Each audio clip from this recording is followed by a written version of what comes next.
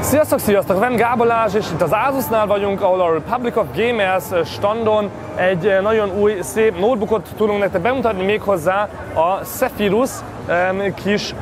nagyobb méretű 15,6 incses notebookot, amit simán egy kézzel azért tudok itt tartani, eh, mert 2,2 kg könnyű, 1,7 cm vékony, és már benne van egy Nvidia a GTX 1080 és egy Intel 7700 HQ processzor, amit hogyha megnyomunk itt egy gombot, akkor mindjárt meg is nektek a technikai adatokban, eh, hogy meg tudjátok nézni, egy darab első hard drive-val, SSD-vel, mindennel benne, hogy majd szépen kényelmesen tudjunk eh, nem csak dolgozni, hanem persze főleg játszani 15,5 15,6 incsen Full HD képernyővel. Nagyon szépen hát lehet hatani képen a kijelzőt, és persze így meg is tudom így fogni, tehát stabil fémházból van az egész, hogy látjátok, ilyen arany és fekete akcentusokkal, ahol van egy Thunderbolt 3 csatlakozónk, és az egyik oldalt, hogyha további csatlakozási lehetőségek kellenek nektek, és nem elég a még kettő USB ezen az oldalon, és a Kensington lock. Nincs tönkrementve, hogy megy a készülék itt alul, azért van nyitva, mindjárt mert megmutatom, hogy hogy működik az egész. Hátulról itt majd fújja ki a meleg levegőt. És hogyha megnézzük a következő oldalon a csatlakozókat, akkor itt látjuk majd, hogy van persze itt is egy áram, HDMI, még kettő USB 3 és egy headset csatlakozó. És itt is kifújja a meleg levegőt. Az elején csak egy Asus logót látunk majd,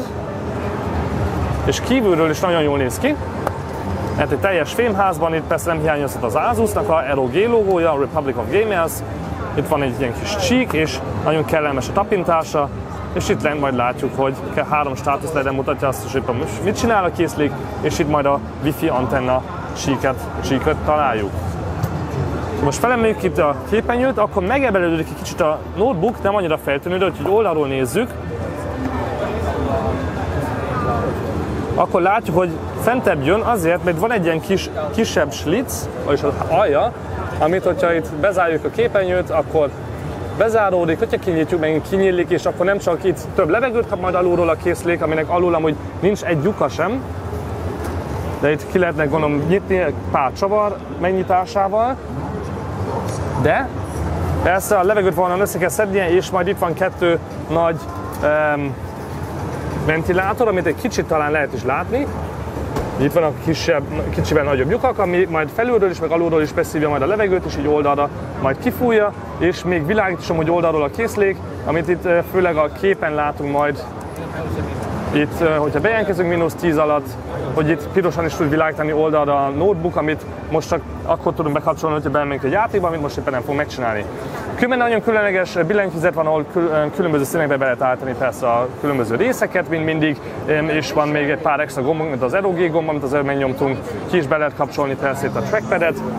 vagy numpadet is lehet belőle csinálni, hogyha azt szeretnénk, és hamarosan kapható is lesz persze a Zephyrus, majd Magyarországon is, persze nem olyan olcsó áron, de hát egy 7700-as Inteles pocinak, meg egy 1080-as